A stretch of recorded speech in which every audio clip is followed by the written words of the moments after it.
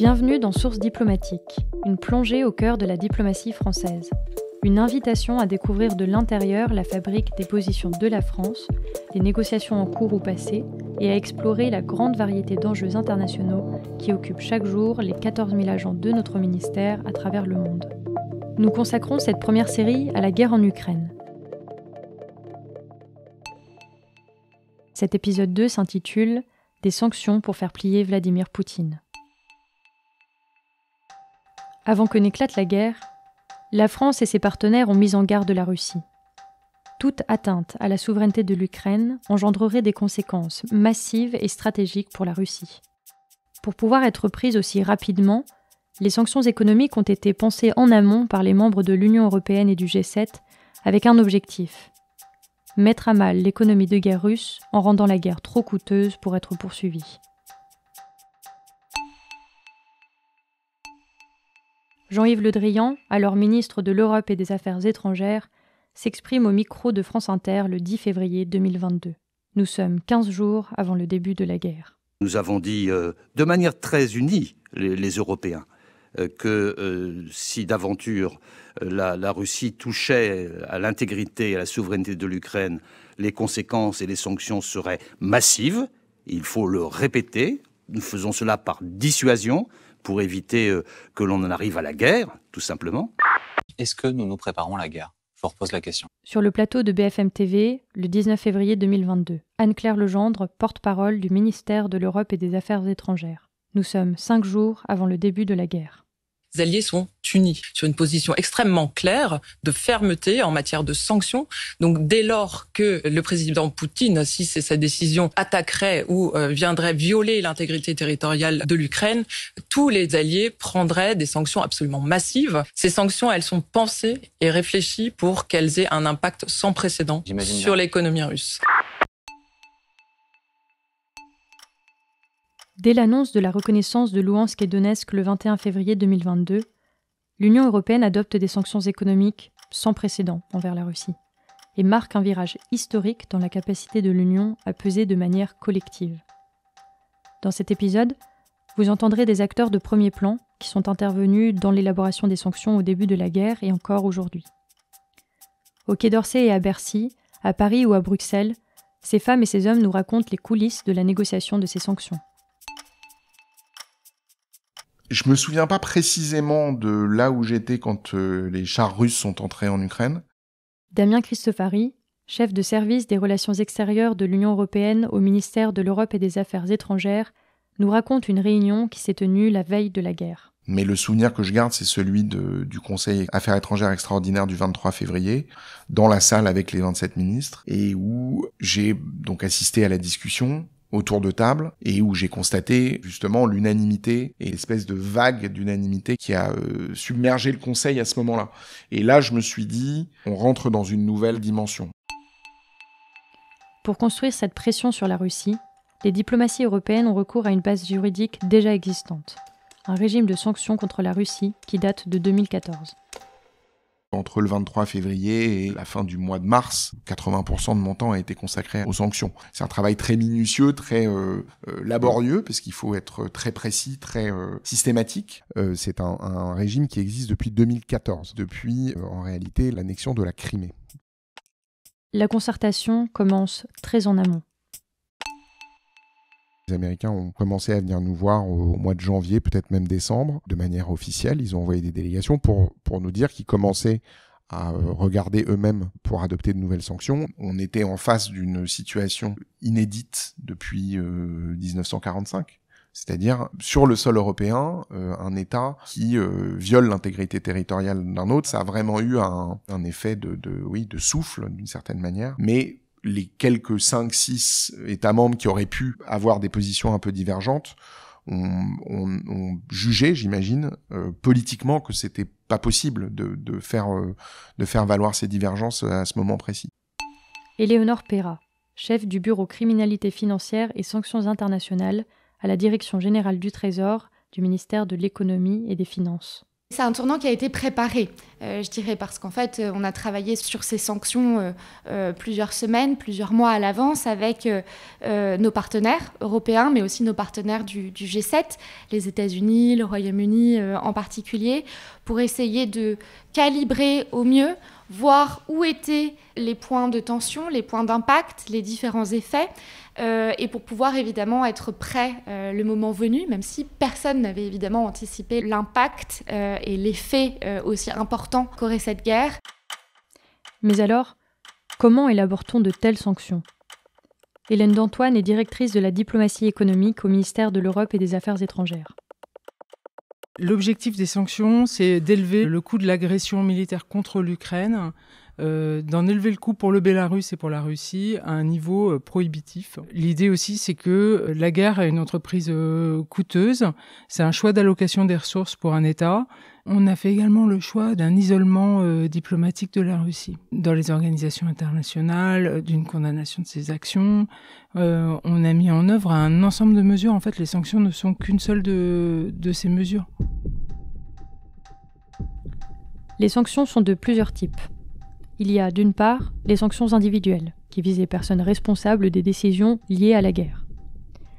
D'autre part, des sanctions sectorielles, qui visent le secteur financier, les transports, l'énergie, la technologie, le contrôle aux exportations, les visas, l'acier, le fer et le secteur du luxe. Celles-ci ont pour but de viser l'appareil économique public et privé russe qui soutient cet effort de guerre. Ces sanctions frappent la Russie, mais également la Biélorussie comme co-belligérant de cette guerre. Éléonore Perra, chef du Bureau criminalité financière et sanctions internationales à la Direction générale du Trésor. Sur le premier axe de sanctions financières, je dirais que c'est là où euh, on a atteint une ampleur euh, sans précédent. L'idée, c'était vraiment de cibler la capacité de l'État russe à se financer à l'international, mais aussi à financer évidemment domestiquement son effort de guerre, pour pouvoir euh, vraiment l'entraver dans sa capacité à se projeter militairement et à continuer son agression en Ukraine, avec un premier volet de sanctions extrêmement fort sur la Banque centrale de Russie. Les médias illustrent les conséquences les plus visibles de ces sanctions, notamment sur les gels des biens des oligarques russes.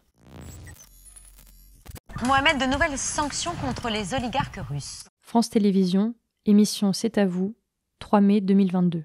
Oui, le gouvernement a décidé d'accélérer sur le gel des biens russes en France. Le ministère de l'économie a désormais gelé 64 biens en France, des bâtisses de luxe en plein Paris comme cette résidence à deux pas du quai d'Orsay, des villas aux Antilles et sur la côte d'Azur, des propriétés estimées à plus de 700 millions d'euros. C'est un total de près de 24 milliards d'euros, 24 qui font aujourd'hui l'objet d'un gel euh, par le ministère de l'économie et des finances. Autrement dit, les propriétaires russes ont l'impossibilité d'en avoir l'usufruit ou de les vendre. On a prononcé des gels d'avoir à l'encontre de plus de 1000 euh, individus et 80 euh, entités. Éléonore Perra. Pour leur empêcher vraiment d'accéder à leurs avoirs, pour les isoler, euh, avoirs financiers, mais aussi ressources économiques, biens immobiliers, yachts, tableaux, œuvres d'art, pour vraiment entraver la plus individuellement les personnes qui étaient dans les cercles proches de décision de Vladimir Poutine. Ça marque euh, évidemment un, tournant. Comment met-on concrètement en place ces sanctions économiques? Éléonore Perra. Il n'y a pas de sanctions faciles, je dirais. C'est-à-dire que si on veut avoir un impact sur la Russie, évidemment, derrière, il y a un coût pour nos opérateurs qui est réel, puisque nos entreprises euh, ou nos banques doivent cesser, interrompre, limiter un certain nombre de euh, relations commerciales, économiques, financières avec la Russie. Et donc, ça a, évidemment des conséquences très, euh, très directes sur nos entreprises, avec une limitation de ce qui est possible de faire vis-à-vis de la Russie. Damien Christofari.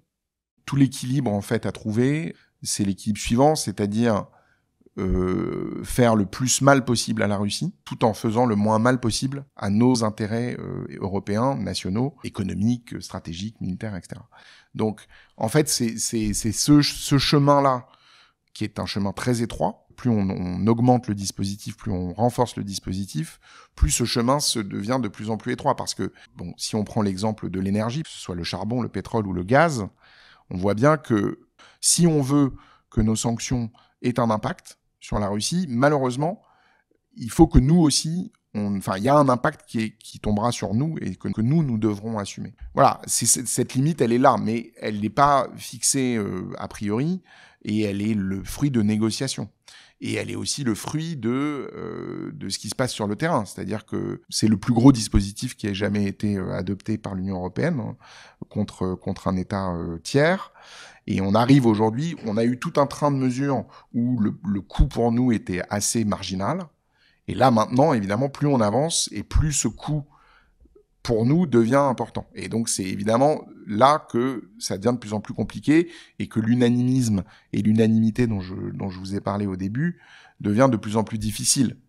Puisque, bah, évidemment, quand vous dépendez à 90% de l'énergie russe pour euh, vous chauffer dans, votre euh, mix énergétique, l'impact est euh, voilà c'est c'est quand même un, un, impact majeur et qu'on peut pas qu'on ne peut pas ignorer.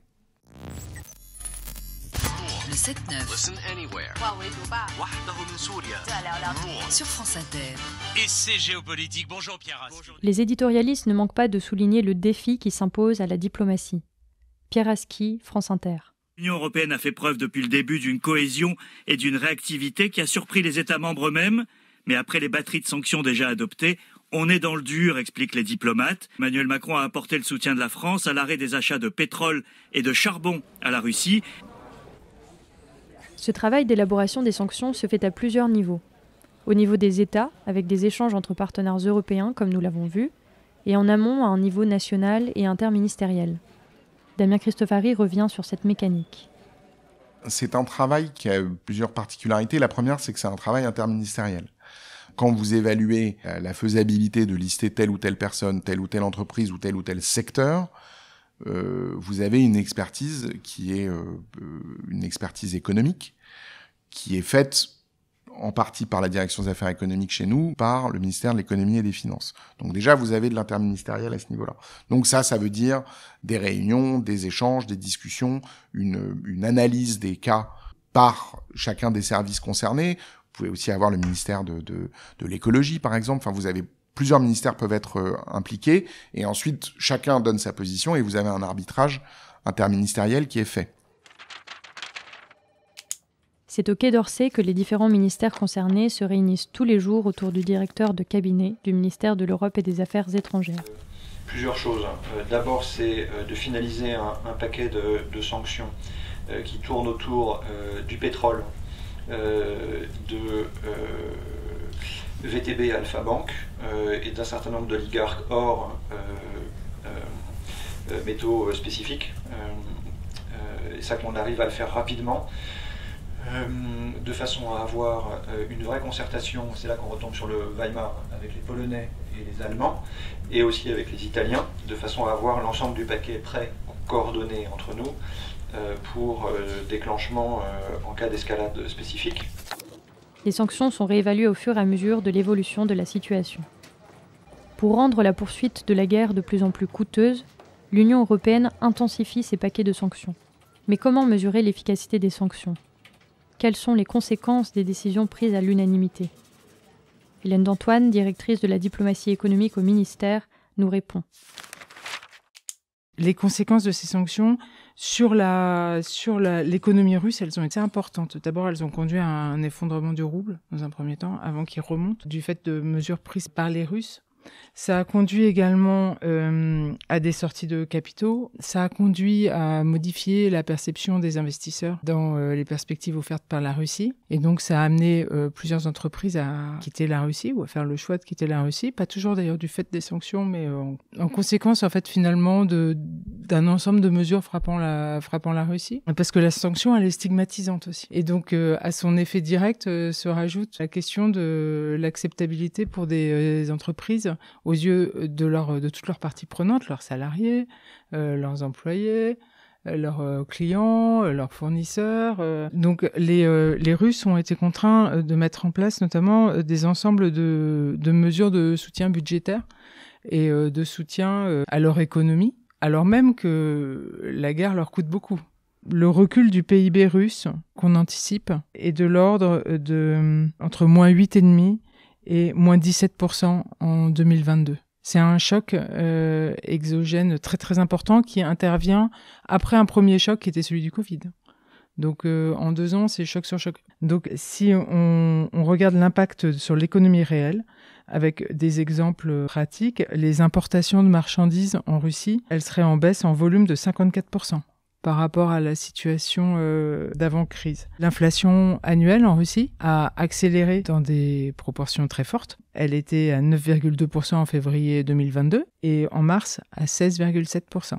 L'impact de ces sanctions fait aussi l'objet de la guerre informationnelle russe, qui tente tout à la fois de minimiser l'impact de ces mesures vis-à-vis -vis de sa propre population et à l'inverse de faire croire que ces sanctions sont à l'origine de perturbations économiques majeures. Hélène d'Antoine rappelle un point capital. C'est le coût de la guerre elle-même qui pèse aujourd'hui sur l'économie mondiale. Il faut faire une distinction entre euh, les conséquences de la guerre et les conséquences euh, des sanctions. Le premier problème économique pour euh, la France et pour l'Europe, c'est la guerre. Ce ne sont pas les sanctions. Par exemple, l'Ukraine était un gros fournisseur de céréales au reste du monde, un exportateur céréalier. Non seulement la guerre a perturbé les exportations de céréales ukrainiennes, qui vont faire défaut dans de nombreux pays, mais en plus, elle aura un effet durable, puisqu'elle perturbe actuellement les travaux des champs. Et donc euh, le premier effet, en fait, c'est la guerre. C'est la destruction, en fait, des facteurs de production aussi, des installations, des usines et de tout ce qui permettait aux sociétés ukrainiennes d'exporter, d'importer et d'être insérées dans des échanges euh, économiques qui étaient, euh, qui étaient profitables à la fois à l'Ukraine et, et au reste du monde. Et euh, de fait, la Russie se met également en dehors en fait des échanges euh, normaux par euh, cet acte de belligérance, ainsi que le Bélarus. Moi, je suis hyper frappée en lisant des rapports, des articles, de voir que combien d'attention est portée à l'impact économique des sanctions, alors qu'on analyse assez peu l'impact économique de la guerre en soi. Lundi 30 mai, Catherine Colonna, ministre de l'Europe et des Affaires étrangères, se rend en Ukraine. À Kiev, elle tient une conférence de presse au moment même où, à Bruxelles, le Conseil européen trouve un accord politique sur le sixième paquet de sanctions, qui prévoit notamment la fin de 92% des importations de pétrole en provenance de Russie. Elle souligne en parallèle la nécessité de se mobiliser pour faire face aux effets économiques de l'agression russe, à commencer par la crise alimentaire qui menace les pays les plus vulnérables. Tout d'abord, nous devons continuer de rendre insoutenable le coût de la poursuite de cette agression pour la Russie. C'est tout l'objectif des sanctions. Elles sont d'une ampleur sans précédent et elles visent le pouvoir russe et tous ceux qui contribuent à son effort de guerre. Et je voudrais conclure sur un sujet majeur et urgent à la fois, qui est euh, la nécessité de déployer ensemble tous nos efforts pour parvenir à limiter le plus possible les conséquences de l'agression russe sur le marché alimentaire mondial. Le président de la République en a fait l'une de ses priorités. Il a porté au Conseil européen l'initiative Farm et aujourd'hui nous voudrions, avec nos amis et partenaires, tout faire pour euh, parvenir à débloquer les quelques 20 ou 22 millions de tonnes de céréales ukrainiennes qui sont bloquées euh, dans les ports ukrainiens et que l'Ukraine ne peut pas exporter du fait de l'agression russe. Et je vais être très clair, euh, ce ne sont pas les sanctions internationales qui empêchent les exportations de céréales, c'est la guerre choisie par la Russie et menée par elle en Ukraine. C'était Des sanctions pour faire plier Vladimir Poutine, le second épisode de notre série Guerre en Ukraine. Merci à nos intervenants Hélène d'Antoine, Damien Christofari et Éléonore Perra.